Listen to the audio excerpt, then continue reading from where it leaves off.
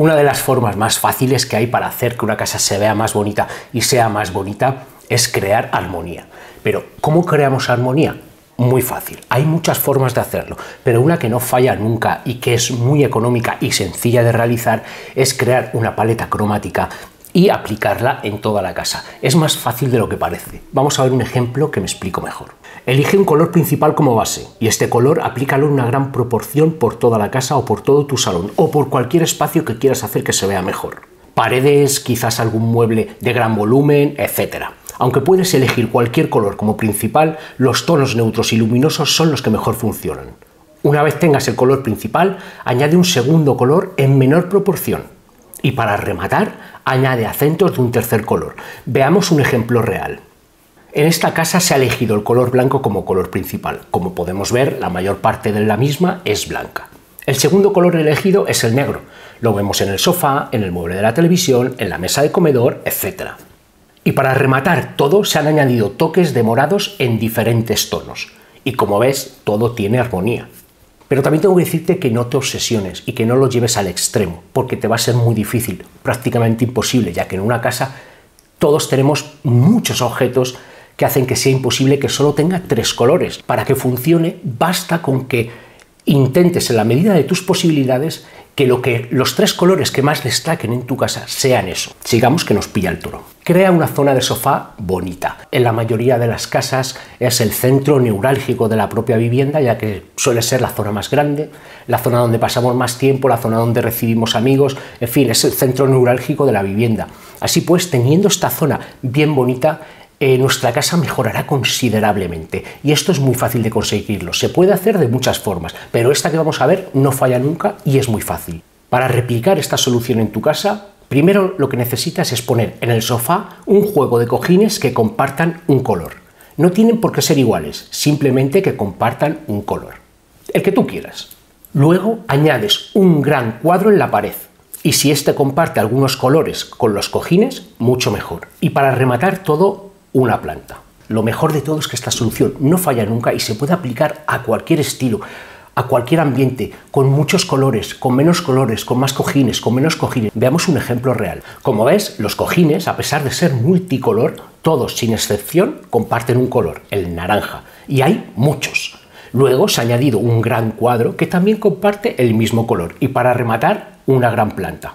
Actualiza elementos desgastados o afeados o anticuados por el paso del tiempo. Fíjate bien en las manillas, en los picaportes, en los marcos de las fotos, en los interruptores, en los enchufes, en todas estas cosas que no forman parte activa de la decoración, pero sí de la vivienda. Si las tienes desgastadas por el paso del tiempo y tú misma o tú mismo las ves desgastadas o, no te gustan, cámbialas por unas nuevas. Y digo nuevas, no caras. Puedes encontrar todo tipo de accesorios a precios buenísimos. No sé cómo puedo hacer mayor hincapié en este punto. Puede parecer el más aburrido, el que menos aporta a una casa quizá, pero en el momento que lo hagas es una de las soluciones que más vas a agradecer porque el coste y el tiempo invertido en relación con el resultado es brutal. Haz que tu casa huela bien siempre.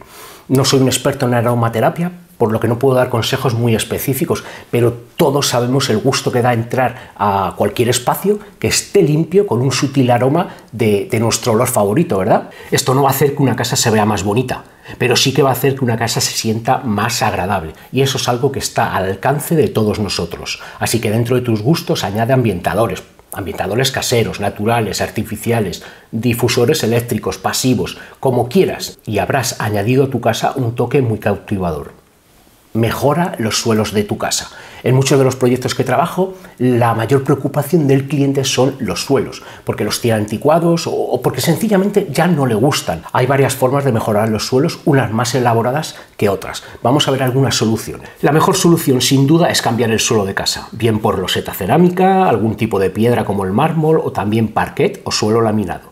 Este último es más económico de instalar, tampoco necesita obra y en pocos días un profesional nos puede haber cambiado todo el suelo de casa. Entiendo que esta opción conlleva un gasto que no todas las personas pueden o no quieren asumir. Eh, para todas ellas están las losetas vinílicas. Las losetas vinílicas, si se instalan bien y se elige una loseta medianamente decente, dejan un acabado precioso, fácil de limpiar, muy resistente y duradero en el tiempo. El truco está, como ya hemos visto en otros vídeos, en preparar bien la base. Básicamente tenemos que dejar la base donde vayamos a instalar el suelo lo más lisa e uniforme que podamos. Una vez tenemos la base bien preparada, ya podemos ir instalando el suelo vinílico nosotros mismos y en un tiempo más que aceptable. Si instalar suelo vinílico no es una opción para ti, por los motivos que sean, una de las soluciones más eh, eficaces y más sencillas es instalar alfombras. No te van a tapar todo el suelo, obviamente, pero tus ojos dejarán de verlo ya que el punto focal del suelo serán las alfombras. No dudes en ponerlas en el salón, quizás en la mesa del comedor, alguna en el pasillo, en el dormitorio. Vamos, eh, los sitios habituales donde se suele poner una alfombra y verás cómo vas a ver tu casa mucho más bonita, ya que el suelo dejará ser el principal protagonista. Si las alfombras tampoco son una solución para ti, por el motivo que sea, la única solución que me queda por recomendarte es la pintura. Pinta tus suelos. Pintar los suelos los va a cambiar radicalmente por unos nuevos. Es cierto que la pintura es el revestimiento más frágil que hay y tendrás que tener mucho cuidado con arrastrar muebles y demás pero si te gusta se convierte en una opción, una opción económica y una opción fácil de llevar a cabo. Eso sí, tienes que saber que esta alternativa para decorar los suelos es irreversible. Una vez que los pintes ya no podrás recuperar su estado original. Si te gusta esta opción pero no sabes qué pintura utilizar, déjame un comentario diciéndome el tipo de suelo que tienes y te diré qué pintura necesitas. Si cambias el suelo tendrás que cambiar también los rodapiés. Y aunque no cambies el suelo, una opción de mejorar y hacer que la casa se vea más bonita eh, también es cambiando los rodapiés. Estos pueden añadir un toque muy elegante. Naturalmente elige unos rodapiés que además de encantarte también combinen con el suelo. El rodapié de una vivienda es algo que generalmente lo tenemos tan visto y tan asumido que nuestro ojo y nuestro cerebro dejan de verlo y de darle importancia. Pero si le prestas atención y lo cambias por uno nuevo más bonito, más elegante o más de lo que te gusta a ti, pero que tenga presencia, te puedo asegurar que se puede convertir en el orgullo decorativo de toda tu casa. Lo mejor de esta opción es que con las herramientas adecuadas, dependiendo del tipo de rodapié que elijas, que no suelen ser muchas ni muy caras para instalarlo, lo podrás hacer con tus propias manos. Cuidado con los rincones y las zonas muertas en casa. Estos rincones vacíos y estas zonas muertas pueden echar al traste toda la decoración de la casa. De hecho, pueden ser los protagonistas o los culpables de que la casa no se vea como tú quieres. Y eso sencillamente porque estos espacios están caracterizados por tener ángulos difíciles de decorar, ya que son rincones, esquinas, mochetas, pilares y otros elementos arquitectónicos en los que es difícil encontrar algo que encaje, y al dejarlos vacíos, en muchas ocasiones dan sensación de abandono. Y cuidado, no quiero decir con esto que tengas que llenar toda la casa de elementos, porque puede que a ti te guste un estilo depurado y despejado como el minimalismo, por ejemplo. Pero una cosa es un estilo minimalista y otra es que parezca que nos han entrado a robar en nuestra casa o que está a medio terminar. Así pues, dentro de tus gustos y de tu estilo, vigila bien estos rincones y añade alguna pieza decorativa, sutil, minimalista o maximalista, a tu gusto, y verás cómo al decorar todas estas zonas muertas, vamos a hacer que la casa se vea más bonita. Instala molduras en el techo. Las molduras en el techo, igual que el rodapié en el suelo, son uno de los elementos que más pueden embellecer nuestra casa. Es cierto que muchas personas, a lo mejor al pensar en molduras decorativas, les venga a la mente la casa de, de su madre o la casa de su abuela y recuerden esos rosetones y esas molduras antiguas que a mí me parecen preciosas, pero que puede que a mucha gente les parezcan anticuadas. Para todas ellas y para todos los demás, tenemos al día de hoy molduras de techo de corte muy moderno con las que añadir un matiz decorativo a toda la casa de alto nivel, unas sencillas molduras económicas y que puedes instalar con tus propias manos hoy en día con un simple adhesivo de montaje te pueden dejar una casa preciosa. ¿Quieres subir el nivel decorativo de tu casa? Contempla la opción de los rodapiés y de las molduras. Añade cestas, canastos y cajas repartidos aquí y allá por toda la casa. Muchos de vosotros me habéis preguntado muchas veces en los comentarios cómo tener una casa más ordenada, especialmente cuando hay niños. La solución es fácil, meter más almacenaje. No hay otra. Y esto lo podemos hacer de dos formas. Una de ellas es añadir más muebles y más almacenaje. Otra de ellas es mucho más fácil añadiendo aquí y allá cestas, cajas y canastos repartidos estratégicamente por toda la casa. En la medida que te permita hacerlo tu espacio, coloca una cesta, por ejemplo, eh, al lado del sofá, otra a los pies del mueble de televisión, en algún rincón, en la estantería añade un par de cajas decorativas y así suma y sigue. Y con esto no solo le vas a añadir un toque decorativo a tu casa, sino que tanto para los niños como para los adultos nos va a ser mucho más fácil tener todo ordenado ya que básicamente lo único que tenemos que hacer es echarlo a la cesta.